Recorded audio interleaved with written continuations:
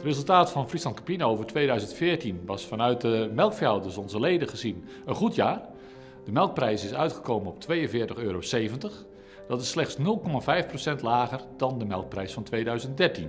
En 2013 was een recordjaar, dus dat schetst al dat het niveau van melkprijs eh, op een goed niveau is geëindigd. Focus Planet is ons kwaliteits- en duurzaamheidsprogramma.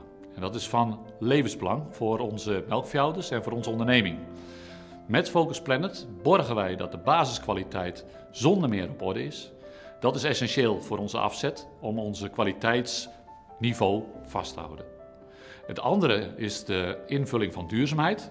Daar hebben we het afgelopen jaar een hele grote slag gemaakt, zodat we ook met onze aanpak belangrijke klanten kunnen bedienen en daarmee ook onze afzet verder uit kunnen bouwen naar de toekomst toe. Friesland Campina heeft de afgelopen jaren veel geïnvesteerd. De afgelopen zes jaar wel 2,5 miljard. Dat hebben we voornamelijk geïnvesteerd in kwaliteit, maar ook vooral in uitbreiding van capaciteit. Dat is met name gedaan omdat nu, vanaf 1 april, het kwotum verdwijnt, waardoor onze leden ook meer melk gaan produceren. En we kunnen constateren dat wij inderdaad nu klaar zijn voor het nieuwe tijdperk.